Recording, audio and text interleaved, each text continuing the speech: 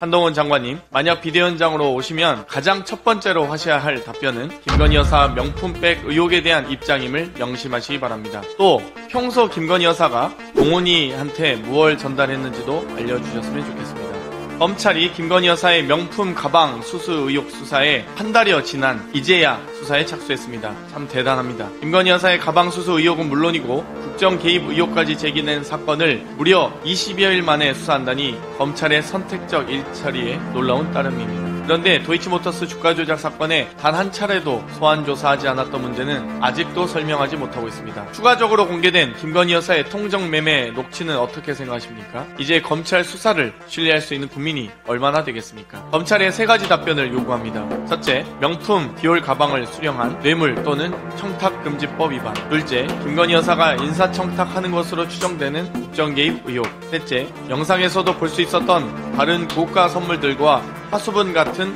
반환 선물 창고 논란. 적어도 이 세 가지에 대해서는 검찰이 반드시 답하고 수사해야 합니다.